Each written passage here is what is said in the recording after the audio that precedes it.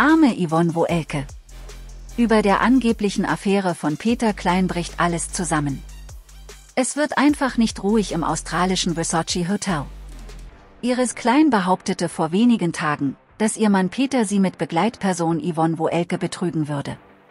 Zwar beteuern beide, dass an den Gerüchten nichts dran ist, das Drama nimmt trotzdem seinen Lauf. Auch Yvonne hat mit den Schlagzeilen zu kämpfen. Es belastet nicht nur ihre eigene Ehe, sondern könnte auch bittere Konsequenzen für ihre Karriere haben. Die 41-Jährige arbeitet nämlich als Schauspielerin.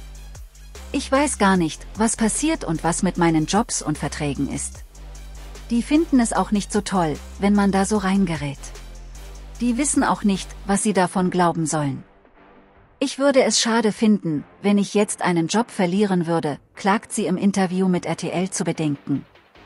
Aktuell will Yvonne sich damit aber noch nicht beschäftigen. Trotzdem hofft sie immer noch, dass das gut ausgeht.